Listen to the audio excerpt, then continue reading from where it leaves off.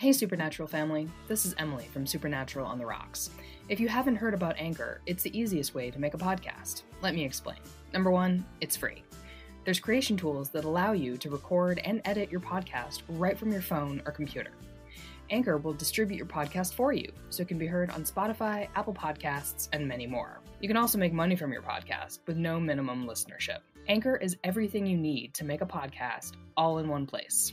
So download the free Anchor app or go to anchor.fm to get started.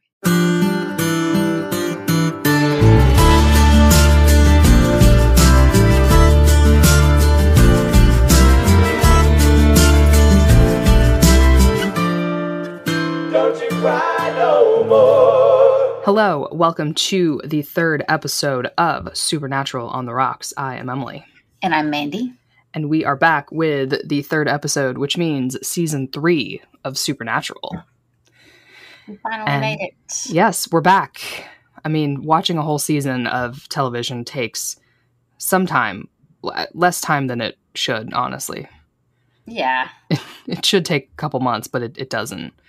Um, but it does take us some time to um, get our shit together. So we have arrived at season three of Supernatural. Um, this is a quick summary of the entire season pulled from the Supernatural fandom wiki. Um, the battle that brought him down, oh, well, really. The yellow eyed demon is vanquished, but at a terrible price. The battle that brought him down released hundreds of demons from hell into an unsuspecting world, and it cost Sam his life. But a grief stricken Dean made a deal with the Crossroad Demon, his soul for Sam's resurrection. Now Dean just has one year to live, one year to fight the unholy, the twisted, the ghoulish, one year to say farewell to Sam, and one year for Sam to search desperately for some way to save his brother. Mind bending adventure awaits as the Winchester brothers continue their astonishing odyssey into the supernatural and their personal odyssey into destiny. That's a pretty sweet summary of the season. I yeah, think. it is. Yeah. Yeah, That's that's like concise but covers all Mhm. bases. it does. Well written, exciting. So kudos to whoever wrote that. Would credit, but I don't know who you are. But We would Props. credit that the wiki didn't. So we would credit, but they didn't. So thumbs up. Congratulations. So, yes, here we are. The demons have been loosed upon the world. I don't know that the world is unsuspecting at this point. I surely the world suspects. I think That's I think maybe yeah. there is some suspicion out there. Sam Sam died. It was tragic. But I mean, it's supernatural, so is it that Yeah. tragic when you can come back already? I mean, and at this point, I feel like there there might be some characters that you could do a fake out death with, but like nobody thinks that Mm-mm. Sam or Dean is really off the show dead. Nope. Like that No. is that is the problem with having a cast that's not really ensemble. It's just two characters. Right. Yeah, the stakes are never going to feel that high Yes, the between them. Between them. The the focus of this whole season is that dean has made a deal with this crossroad demon and he has a year to live before he is going to be dragged to hell. But does anyone we see what happens at the end of the season but how concerned is anyone really for dean's life? They get stabbed they get shot they get beat up but is anyone terribly concerned for their permanent death even now at season three? And i think that is maybe a f- i don't know if it's a failure because i think maybe at this point we're not supposed to be worried about their lives but their souls? Is that Yeah. now what we're supposed to be worried about I mean that and that does sort of make sense, but it's also like I don't know. I do I do feel like one of the shortcomings of this season was that you weren't really worried about Dean dying. mm-hmm. You weren't really worried, or at least I wasn't really. And I I forgot pretty much how most of this went. There were a couple of standalone episodes that I could remember watching. Mhm. but for the most part, like I'd forgotten how things went down. Mm, mhm, right. But with Do we want to tackle right away? Like, spoiler alert, obviously, if you are listening to this podcast, you have seen Supernatural, right? hopefully, Hopefully. Dean does go to hell. He does not Yeah. escape the crossroad demon. And I actually like I I do have more thoughts on that that I want to wait until we've like worked our way there to share. Great. um, because it ties into the shortened season and the original plans. Mhm. Because the season is only 16 episodes and it was shorter because of the writer's strike. So there were some elements of the season three storyline that got cut. Mhm. And one of them is that Dean wasn't supposed to go to hell. Mhm. Like, that's not how the season was going to end. That writer strike. who- Yeah. surely there is a podcast out there that has dived into every thing that was changed and ruined and improved upon because of the writer strike. I mean, that would be really interesting. I'm, I'm actually going to make the argument that this was improved upon. Mm, mhm, mhm. But, well, um, simply because of next season. Yeah. Do we want to just jump into episode one? Yeah, I think we can. Yeah, I think that's a good. I mean, we did this last episode Yeah. last season was kind of run through the episodes because it, you know, the show follows a plot. It follows an arc for the for the most part. Yeah, for the Um, most. you know, they are on a journey, um, and the show. Um, I think you know, with every TV show, sometimes episodes are filmed out of order, so acting choices maybe are not always in sync with the release of the episodes. But in general, episodes are filmed in sequence. That is not always the case, but um, it is often. And there are there are a few side characters that are recurring this season, but I do think it's a little more interesting to talk about them in terms of how they're introduced Yes. in the episodes. So we really um we kind of pick up um with sam and dean dealing with the aftermath of an unknown number of demons being released from hell Yep. And the first episode is the Magnificent Seven.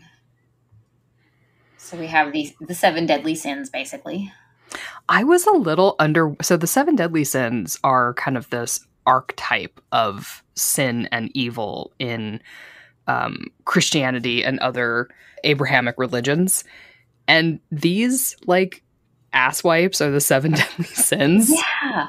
I Well, I was was- not impressed by these guys. No, in fact, like that is one of the notes I made on the episode was like, wow, lackluster opening to this really wide concept Yep. of like the world is full of demons now. Like, really, this is this is how you start off. Yeah. Because later we get the four horsemen of the apocalypse who are Mhm. pretty badass. And I would think that the seven deadly sins earn better characters than uh, some bar brawls and And I, fe- I feel like that is also like obviously when they were making season three of Supernatural, they didn't know the show was going to last 15 seasons. Mhm. But it, it does have that problem where like it sets up things in early seasons that are supposed to be like terrifying, not Uh-huh. realizing in like five more seasons they're going to be completely av- overshadowed yeah, Like, right. because they have to keep raising the stakes. Yep. But yep. it doesn't really like it. It hurts the rewatchability of things like hmm the season three opener. This dude in a leather vest is gluttony or whatever. Like, okay. I could kick that dude's ass. You know, it, does. Yeah, it's a little. um So they've met up with these fellow hunters who end up in a demon bar, and he's one of them is forced to drink like Drano, and that's Yeah. how a deadly sin of millennia years old demon is gonna murder someone. Like, okay, Drano. Yeah. Yeah, and they, you know, they're both black characters who die right off in the season Uh, premiere, yeah. so that's nice. Supernatural really like it really starts out.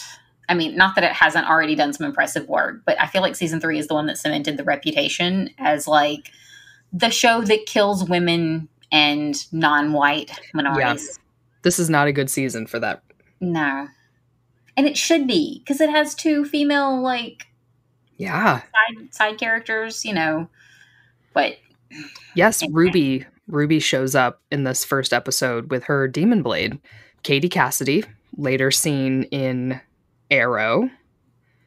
And I'm Yeah, I didn't know sure that was the same person. it is, Okay. is a, she looks a, Yeah. just looks different.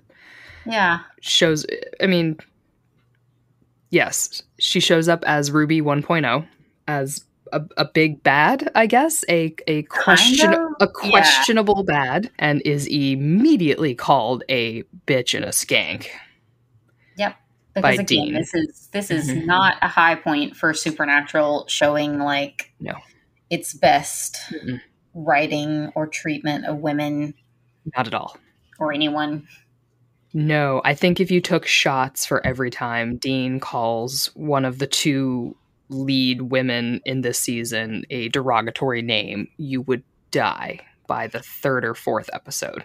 I mean, especially if you included in that list anytime he's slightly homophobic. Yep. We can all have our Dean head headcanons in terms of his sexuality or, you know, mm-hmm. just canon. But Sure. at this point, I'm, I'm just like side eyeing the writers who definitely weren't planning that far ahead No. and still got in some really, I don't know, weird homophobic jabs. Yeah. And that served no purpose. That It wasn't No. Yeah. it's a very early 2000s kind of attempt at subversive humor because he's what a tough Yeah. no holds barred kind of a badass who makes fun of people like all right what a okay. Watching it like watching it gave me the same feeling as if i'm like channel surfing and land on a show and like in five minutes i'm like well i'm not the demographic for this. Mm, yes. And i i mean i loved supernatural. Still do you know i Mhm. mean i'm working my way there. Because Mhm. we're about to get into stuff in a couple of seasons that i haven't seen but uh, oh uh-huh. but yeah i don't know just dean's writing mm, not not a fan. Yes he's definitely especially in this early half of the third season is out there kind of li- well he's a he's pretending to live life to the fullest because he only has a Yeah. year left and it's certainly this carefree blase pretending like he's not scared shitless and about to die you know this Mhm. james dean devil may care certainly hiding fear but there's no need for the writers to cover that with homophobia and misogyny. That's a choice. Yep. You know that doesn't need to be a characterization. That's a that's a writer's choice. So that's the start to season three. So it's a it's a doozy. Yeah. Um but, But it does it does give us um it does give us ruby 1.0 who who is an interesting character that i think probably got a bad rap by a lot of people for being a woman Yeah, I liked her. I didn't remember really liking Ruby that much. But I don't know. Right. It's it, it it sort of goes back to the fact that the season was shortened and a lot of things were underdeveloped for me. yes But definitely. um but yeah, I, I liked the actress. Yeah. Yep. Um so we roll we roll out of this into the second episode. The kids are all all right. Kids are all right. Um where Dean has kind of forced Sam into visiting his old flame Lisa. Lisa who features heavily in fanfic. yeah. um, um hmm Someone he had I- an affair with however long Yeah. ago. I didn't okay, I love a creepy kid episode. Um so I was inclined to like this one. This was not as good as the other creepy kid episodes before. Mm. Actually, it's not as good as other creepy kid episodes in this season. hmm But um but that's pretty much the only element of this episode I liked. I don't know, the force the forced sexualization of Dean Winchester. Uh mm-hmm. It, it just grates on me a little. You didn't like Dean worried that he had a mini me out there this whole time? No. I mean, okay, I will say I liked it in the sense that we are starting to get the feeling of Dean recognizing that there might be more to his life than hunting, hmm even if it's Right. not by choice when he thinks like he might accidentally have a kid. hmm But Given his of that, lifestyle, yeah, yeah, they really pushed hard for that kid to be a mini Dean. they really did. They didn't need to push that hard. No, No. It was kind of funny in a way I don't think it was meant to be. yes, you're right. No, it, it did. They didn't need to push that hard. That kid could have had like one or two Dean isms that would have been like, uh, it could have signaled to the audience like, oh shit, does Yeah. Dean have a kid? Instead of like the hair, the jacket, the music. Literally dressing him Uh like huh. Yep. Yep. Flinging a knife around, like, oh shit. Um. So yes, they're you know the kids in town are being taken over by changelings, and that's our little lore for the episode. Are are changelings who are not? They're fine. They weren't the the scariest in town. yeah. Um. But Sam has now, um, made contact with Ruby, who is claiming to be. She claims to be a hunter as well, right? yeah. Mm-hmm. But uh, but she is not. Ooh, what Is she? she be? She is also a demon. Yes. Surprise! Demons aren't all bad. They aren't all reckless, um, v- violent, heart. I was gonna say soulless, but that's questionable. Heartless, Yeah. uh, killing machines. She is a demon, um, and she says that she is there to help and save Dean Winchester. Thoughts, feelings. It's I- interesting, right? It's an interesting turn to have Yeah. their most hated enemy come offer some help. And like I'm I it makes me wonder how much foresight they had into the demon plot line because like they they do try to I don't know, they're insinuating a lot of demons into the plot at this point. Not just demons, but um Mhm. Whereas before most of the the people that they've known that like were recurring were like Bobby or, you know, Jo, Right. like other hunters or people Mhm. on their side. I can't remember. Oh my god, I can't remember the woman's name. The black Ellen? woman. Oh, No. um, Missouri. Yeah, yeah, Missouri. Um, yeah, people like that. But this season we have, you know, the first appearance of the trickster, and then like Bella, who has her own thing going on, and Mhm. Ruby. But people who are morally questionable, Yeah. just like the Winchesters, Yes. who think they have the moral high ground the entire time, but who are actually out there killing things left and right. Are we? Yeah.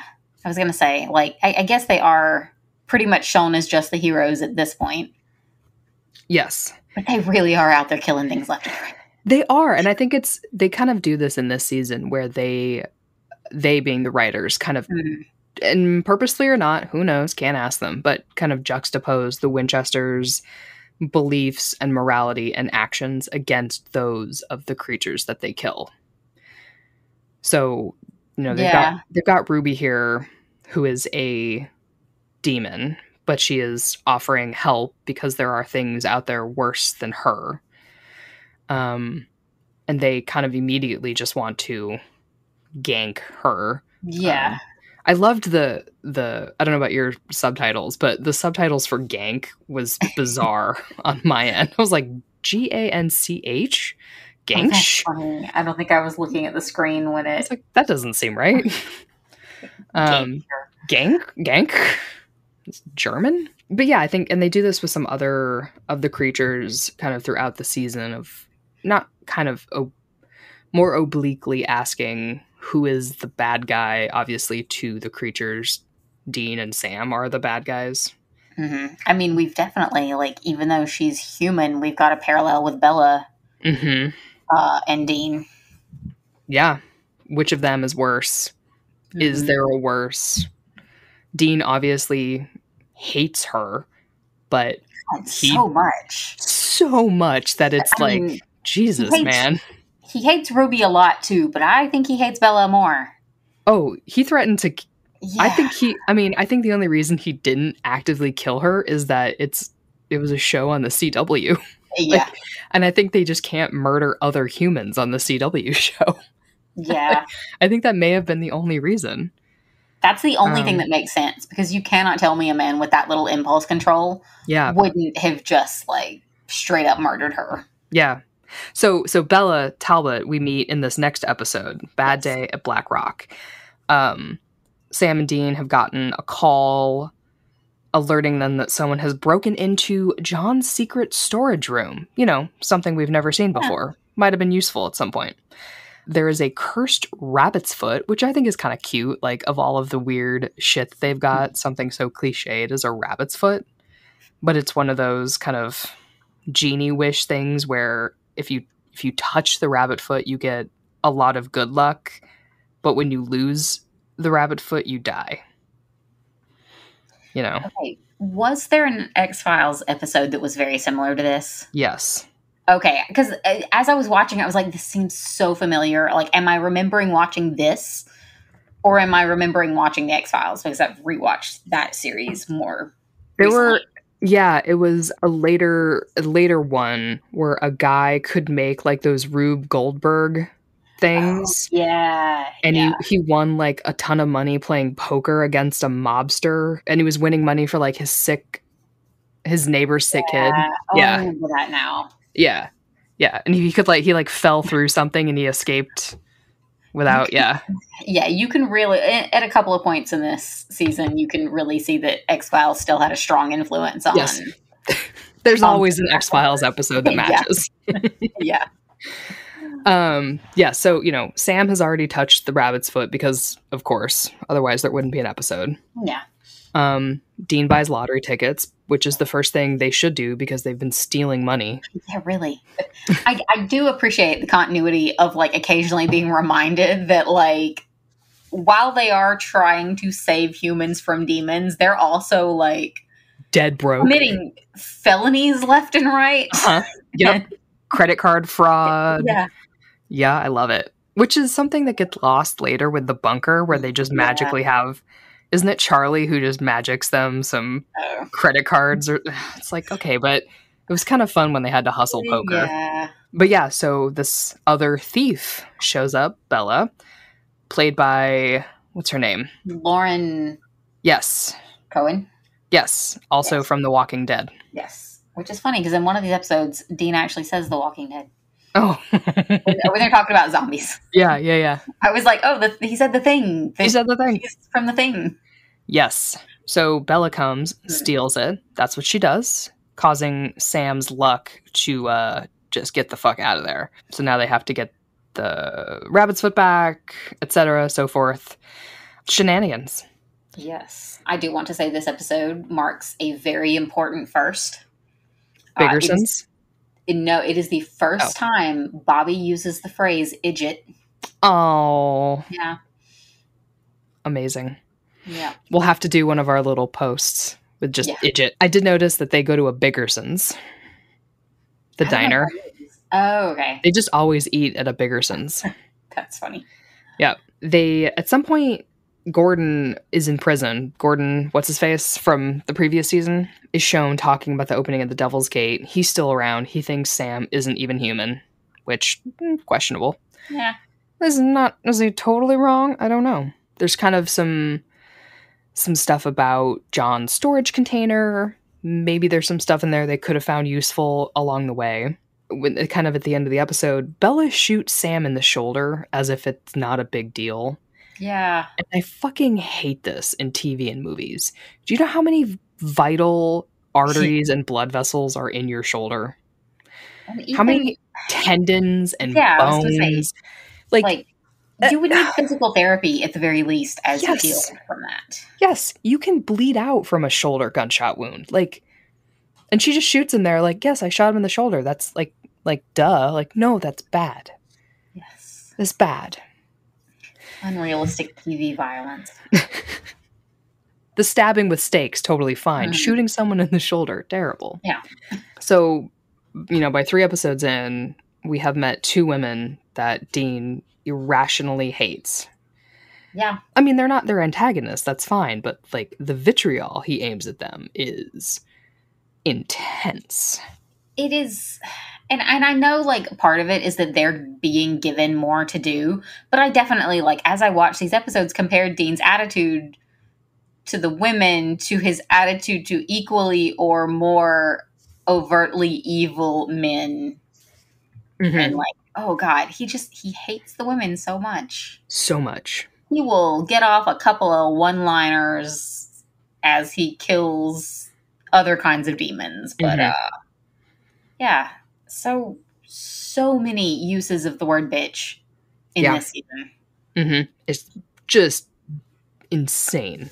And it, you know, the next episode, they are investigating a bunch of deaths in this little town that has just been taken over by gamblers and drunks and whatnot. And there's a demons have infiltrated to make them, I don't know, have a party town. And Dean automatically hits on the bartender because that's what he does, Of right? course. So, like, a woman who is antagonistic towards him, a bitch, and a slut and a skank. The hot bartender, a target Yeah. with no distinction. Just like, boom, hot woman in a low cut shirt. Done. I have so much like emotional compartmentalization over this because I'm going to say fan fiction helps balance it out. Mhm. Like the idea of Dean as a character who went from point A, which is just emulating all of the horrible male influences in his life, to like point B at the end of the season. I mean, at the end of this this series. But like those fucking writers were not thinking that far. They were not thinking, oh, he's gonna meet someone who changes his life and go from Right. this womanizing character to no hookups for like the last three seasons and essentially in a Married to an angel. Exactly. They weren't thinking that. Mm-mm. So while I can understand the characterization of Dean, like no, it's just I would have fucking fired those writers. Yeah, I guess and they were struggling by the end of the season anyway, but still. And the whole time, people were like looking at these scripts going, yes, that's the appropriate amount of times to call a woman a bitch in this TV show. Or a skank or a whore, Yeah, all the mhm. things. I, I actually did start a list of the words, but it was depressing me too much, so I just deleted it and was like, I'm yeah. I, one of my notes is just all caps that says Dean has to stop calling women bitches. yeah. And I Is it- mean, it is mostly Dean, but Mhm. seriously, even Sam does it more times than I'm comfortable with. He does. But yeah, I just it's fucking aggravating because it's like and I I I don't have the statistics on the demographics directly in front of me, but obviously the um, the number of women watching this show far out far exceeds the number of men or people who identify as men, people who identify as women. Like we're the ones watching it. You don't need to call us bitches by Yep. proxy. We thank you. We're good. We're paying your bills at the conventions. You can stop now. Yeah, really. we are keeping some of those minor actors Yeah, going. we're keeping you paid. If you could just knock it the fuck off. I did like the conversation that Dean has with the woman who turns out to be a fucking demon, Mhm. which who could see that coming about what is a demon versus a human and Lucifer Yeah. and and it's kind of the first reference as Lucifer as real. And again, it's it's always funny to me when Dean is like, "What do you mean Lucifer's real? Like how At this point, why would you question anything? why why would you question any you have seen vampires and werewolves and ghouls and poltergeists and fucking didn't they find yeah they have an angel like you Yeah. if an angel's real then so is fucking lucifer who is just an archangel like just believe it.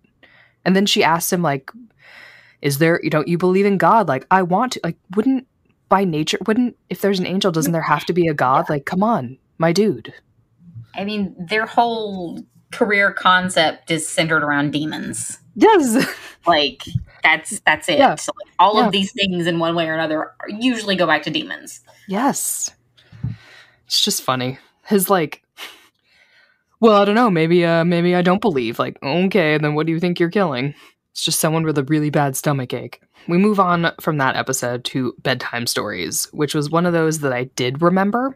I lo- this is actually one of the ones I remember too, and uh, this is a much better creepy kid episode. Yep, it's kind of a standalone, but it's a it's a fairy tale episode I with Red like- Riding I- Hood and I like the the supernatural version. I mean, I guess Demon of the Week episodes or Mhm. you know, Monster of the Week. I like those better than the arc episodes usually. I'm gonna say now Mhm. because we're gonna get to a point where I'm like all about the arc storyline. sure. I'm sure as it relates to a specific character. Mhm, Not saying mhm, it. mhm, mhm. But anyway, uh, yeah, I love creepy kids. I love creepy grandmas, and this episode had both. It did, love a creepy unfortunately, have a little bit of homophobia from Dean. A little bit. couldn't be entirely good, Mm-mm. but yeah, just good episode. I didn't even take that many notes. Just all caps, creepy grandma and the creepy kid. Yep. I like it was just kind of fun to watch. Like the Mhm. hikers coming out of the woods and you see the little house and you're like, don't go in there. Yeah, Up high on the window. A pie on the windowsill. Like it's just cute little details and then yeah, don't do it. I love I love those older actors who are just playing sweet. yes. And I like oh I don't know I standalone episodes really are they're make or break on the quality of the actors in that specific episode Mhm. and I feel like the grandma and the little girl just just a fantastic casting Yes. Yeah.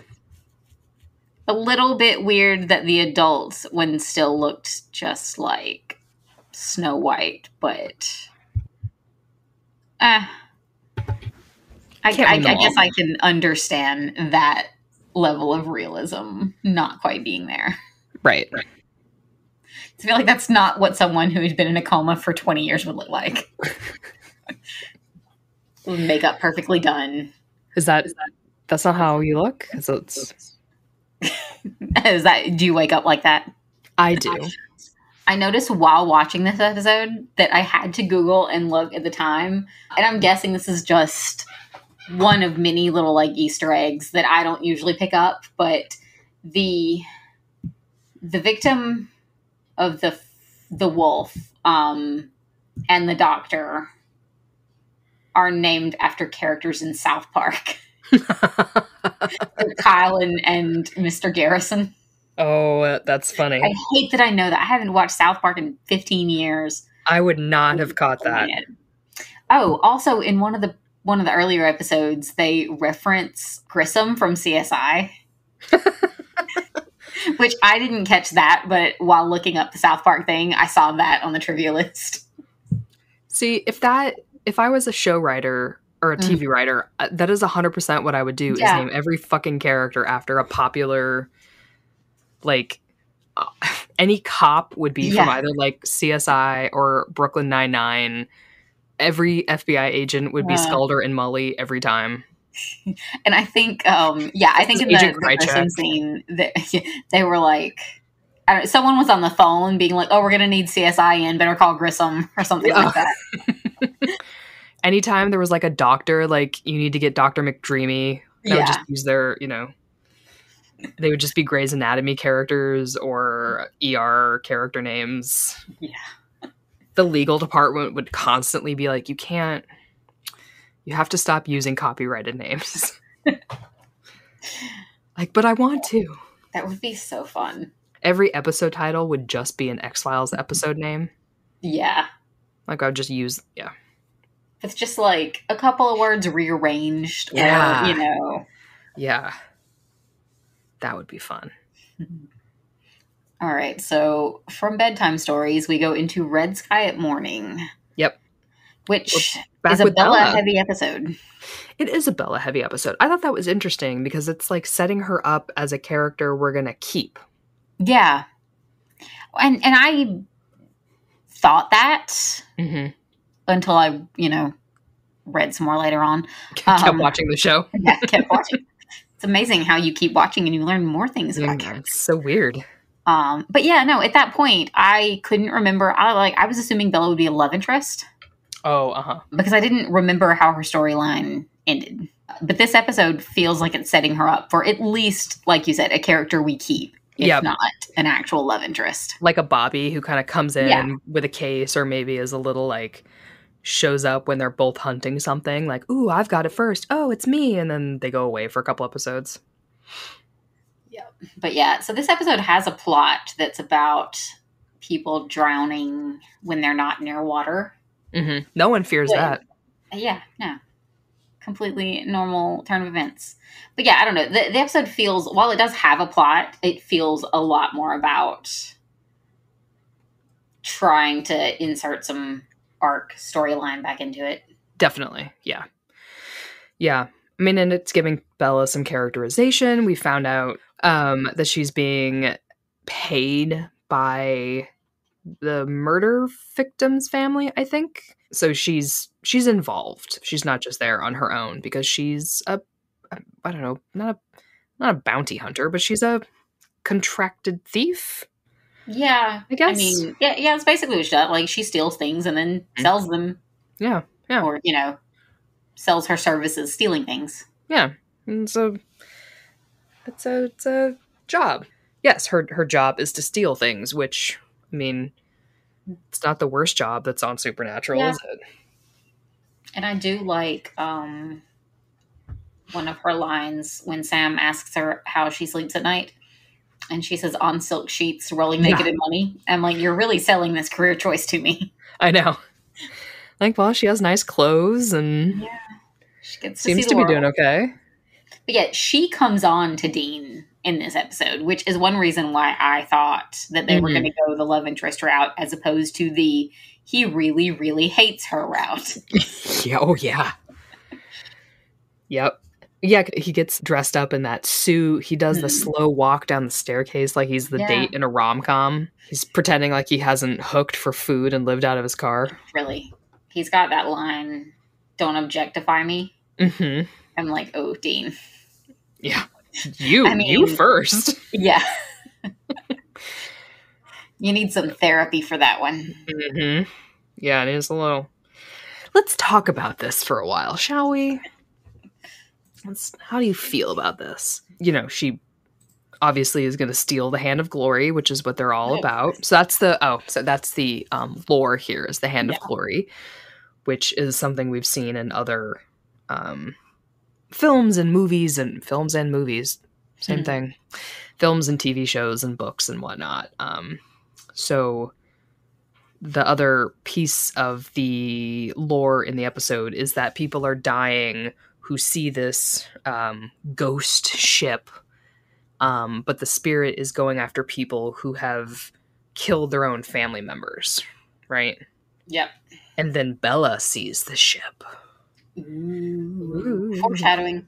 and then she gives them money at the end of the episode, Oh, yeah. I forgot that. which I feel is like a bazillion times more money than they have seen in a Ah. long time. Yeah. And Sam says some garbage to Dean, like, don't worry about me, worry about yourself. Like, has that ever worked on Dean? Literally, all he does is worry about other people. I Literally. mean, he might be a, he might be a little bit of an asshole sometimes, Mhm. but like at the heart of him, which we will get to in a few episodes. Mhm, Um, yeah, no, his entire life he's just been trained to like protect his family. mm-hmm. Daddy's little soldier. Yep, He's doing a pretty good job. he is. Protect Dean Winchester at all costs. um, the only other thing I liked about this episode is that during Sam's exorcism, he says the word Castiel. Oh, really? Yeah, somewhere in there you just heard Castiel, and I was like, I'm sorry, what? Oh, Have you summoned him? Is that why? Yeah. So I was like, woo. So we move on to Fresh Blood. yes. Um, I am not a vampire person, Mm. so this was not my favorite episode. Mm-hmm. Mm-hmm. But do you know who was in this episode? Uh, who? Harmony from Buffy the Vampire Slayer, Oh yeah, yeah, yeah. playing another vampire. I was like, really just made the full circle loop there. They also got in a second like Easter egg because Lucy is the first victim of Dracula in Bram Stoker's Dracula. Oh, yes. So the Lucy in this episode is the hmm I'm just assuming that was a reference. I like it. I'll take it. There are quite a few episodes this season with vampires. They really Yeah, kind of were. lean. I think vampires fall off the grid in later seasons. These first seasons are like vampire, vampire, vampire Mhm. as a constant big bad. And then later, it's like they're just not worth it until the Mm. final fucking episode when suddenly Dean Winchester can't kill a vampire to save his life. Literally. So fuck that. Um so But so. Harmony here was is someone who was dosed with vampire blood and doesn't realize it and then how does that vibe with morality and, and murdering someone for being a monster when they don't even know that they're a monster? Yeah, and it wasn't wasn't their choice. Not yeah, it's not your choice to become a vampire if you just get dosed. Yeah. Yeah. Um, we we also have Gordon back. Gordon Gordon. Gordon Gordon. I keep wanting to call him Gordon Brown, but that because is it's me. Sterling K. Brown. Exactly. That is Yeah, me yeah. combining the names. Yep. Gordon Walker. There we go. But yeah, so we have Gordon Who also and gets turned into a vampire. Yes. And They now really are vampire heavy. Vampire heavy, but now that he's a vampire, he's ready to Yeah. kill Sam with his big badness. Yeah. But in the the touching episode ending moment, Dean teaches Sam how to fix baby because that's how men relate to each other. Mhm. Lug nuts and oil, Emotions. No emotions. Just teach him how to fix a car. no emotions, just wrenches. Well, I guess that is how his daddy taught him to do it. Literally is. Literally. That's how it works. Yep. So uh now it's Christmas. So yes, it's a very supernatural Christmas. Yes, which um I I feel like just the fact that it's like middle of summer still here, it kind of lost some of the ambiance for me. yeah. A little bit. Uh, I liked I like the concept of an anti-Santa. yes. Yep. I made a note that I was like I would I would watch an entire episode about anti-Santa. Anti-Santa. And and and Santa Something yeah. And and tis and That's very hard to say. and to Santa. Anti-disestablishmentarian. Exactly. Title of the episode. But yeah, we get some flashbacks in Mhm. this episode. Little baby Winchesters. Yeah. Such excellent casting. Always love it. Yep. I don't know. I find it hard to believe that I don't know how old Sam was supposed to be in the flashbacks, but I really find it hard to believe that he got to be that old and didn't know what their dad was doing or what Dean did. If Dean got all of this training, Uh-huh. Yeah. did like did, did they just like send Sam skipping off of school and Dean just like stayed home all day to get trained? Maybe actually, yes yeah. I mean, maybe Sam's just a, an idiot. the flashback portion is basically like Sam learning, or or Sam telling Scene that uh, Dean that he's read their dad's journal and that he knows you know the truth about. Mhm. monsters, and then the actual present day episode is monsters. Monsters all the way around, all the way down. I was this is one of those episodes where I'm like, were they trying to play gay when they were um or w- when they were trying to get the wreath because like the the concept of the Yeah, episode, I wasn't totally. The vibe was weird. it was very weird. Mm-hmm. Although I did write down, like, you know, this couple is evil, keeping a pagan god in their Sears Craftsman home. Yeah. Um, just like, you know, something's not right here. They're too happy. Yeah, I mean, I, I usually love a Christmas episode. This wasn't my favorite. It wasn't the the only part that I found really amusing were the um the gods hmm basically. I did. Yeah, I liked their like no one, no one respects us anymore. Like, Yeah. kind of dug that. I got Dean having his feels over Christmas because uh, he's dying. Yeah. Or well, he he's not dying. He will he will be dragged to hell, and this is like his last Christmas. Not that course, Sam being a macho man and like being like that's why I can't do Christmas. yeah. Uh, Although, as if they've had such wonderful Christmases before, Yeah. which is like, you know, you guys haven't really been doing them previously. But I thought it was a it was a f- fine episode, just not my, Yeah. my faves. I expect more, and, and maybe this is the fault of the X Files that I expect a Christmas episode to be really good. Mhm. Yeah, you're right. X Files has some good ones. How the Ghost Stole Christmas. Ugh, yeah. Truly an amazing episode that I could probably act out. Not So that we'll do that on this podcast, but I No, could. Act, anyone scene one, act that. one. If anyone wants to bounce some money at us, we'll uh, make a Patreon Yes. just for you to be able to pay for that. That's the Patreon account is simply us reading X Yes. Files scripts, but only the good ones. So, obviously, at the end of the episode, Sam decorates the hotel room because that's how you celebrate Christmas is with twinkly lights Of course. And porn. and, and porn. Because They're too open with each other about they porn. are. I don't understand it. I it. don't either. And like maybe once is kind of funny between writers and a writer a writing Yeah. room, but I, I don't know if we're prudes.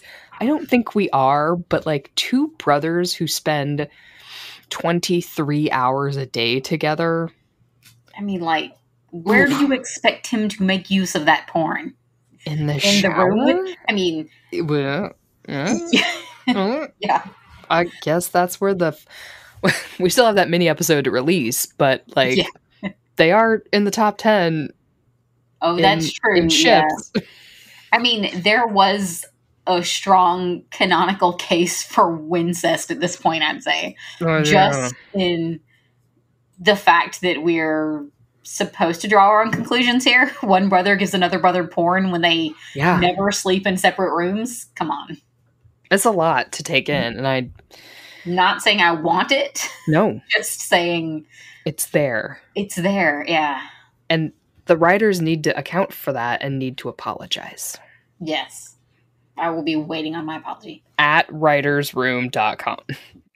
You've been listening to Supernatural on the Rocks, a podcast by OTR Productions. A huge thank you to our sound editor, Adriana, and our podcasts, who secretly run the show. For more episodes, download us on Apple Podcasts, Spotify, Google, or wherever you get your podcasts. Follow us on Instagram, Twitter, and more at SPN on the Rocks.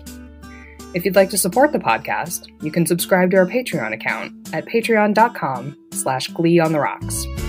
Subscribers get ad-free episodes, exclusive mini episodes deep diving into the fandom, salty opinions, and more. So until next time, this has been The Road That Was.